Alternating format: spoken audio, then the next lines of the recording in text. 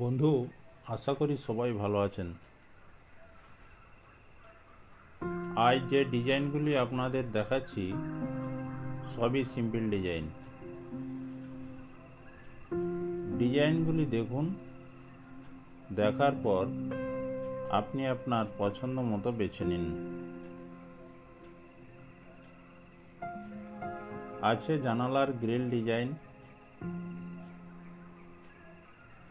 বাড়ির সামনের gate design সিঁড়ি রেলিং আপনার যে ব্যালকনি আছে তার ডিজাইন ম্যাটেরিয়াল সম্বন্ধে বলতে গেলে বলব স্টিল এবং আয়রন কিছু ডিজাইন আছে স্টিল ম্যাটেরিয়াল দিয়ে বানালে ভালো লাগবে। আবার কিছু ডিজাইন আছে আয়রন দিয়ে বানালে ভালো লাগবে। আপনাদের বলব, আপনার বাড়ির কি পজিশন গ্রিলগুলি লাগাতে হবে? যদি ধরে নিই বাড়ির সামনের কিছু গ্রিল লাগাতে হবে, তাহলে একটু শৌখিন দেখে ডিজাইন পছন্দ করে লাগান। যদি মনে করেন বাড়ির পিছনের দিকে লাগাবেন তাহলে সিম্পল ডিজাইন পছন্দ করে লাগান। আর সিঁড়ি কিংবা ব্যালকনির গ্রিলগুলি সাধারণত স্টিলের বেশি লাগিয়ে থাকে। তবে আপনি আপনার পছন্দ মতো লাগাবেন। আজ যে ডিজাইনগুলি দেখাচ্ছি, বেশিরভাগ জানালার গ্রিল ডিজাইন আছে। সবই দেখুন।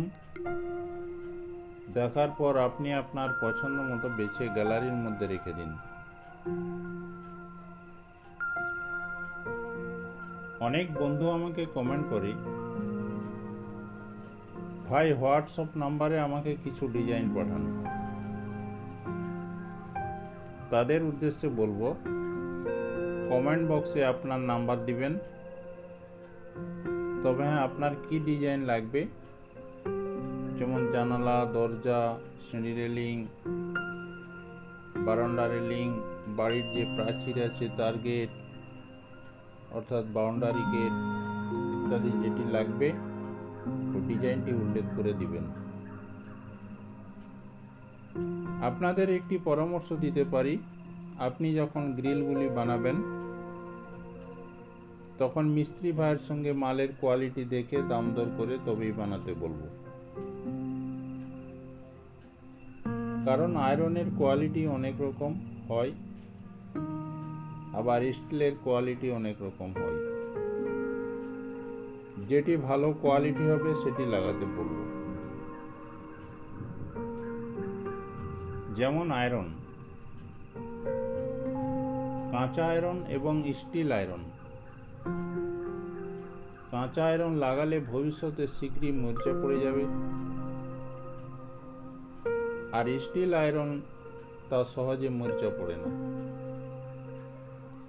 তাই বন্ধুদের বলব, হয়তো কিছু বেশি দাম পড়বে, তাও খুব বেশি না, কেজি প্রতি পাঁচ থেকে দশ টাকা ফারাক থাকে। আর স্টিলের কথা বলতে গেলে, স্টিলের কোয়ালিটি বাজারে অনেক আছে। আমি আপনাকে বলব, ব্র্যান্ডেড কোম্পানি স্টিল লাগাতে। যেমন M S steel S S steel S M steel ইত্যাদি। বন্ধু, ভিডিওটি যদি ভালো লাগে, তবে একটি লাইক দিবেন। যারা আমার নতুন বন্ধু আছেন, তাদের বলব সাবস্ক্রাইব করে রাখুন। কারণ আমি যখন আবার নতুন ডিজাইন আপলোড করব, তখন আপনিই সবার প্রথম দেখবেন। বন্ধুদের একটি কথা জানিয়ে রাখি ডিজাইনগুলি কেমন লাগছে আমাকে কমেন্ট করে জানাবেন। ভালো লাগলে জানাবেন, ভালো যদি নাও লাগে তবুও কমেন্ট করে জানাবেন। আরেকটি কথা, বাড়ি তৈরি করার সঙ্গে সঙ্গে আপনার নিরাপত্তা ও সুরক্ষার জন্য আপনি ভুলেও ওই জায়গাগুলি ফাঁকা রাখবেন না। বন্ধুদের বলি, ভিডিওটি দেখার জন্য অনেক অনেক ধন্যবাদ। ভালো থাকুন সুস্থ থাকুন। আজকের মতো আসছি কথা হবে পরের ভিডিওতে।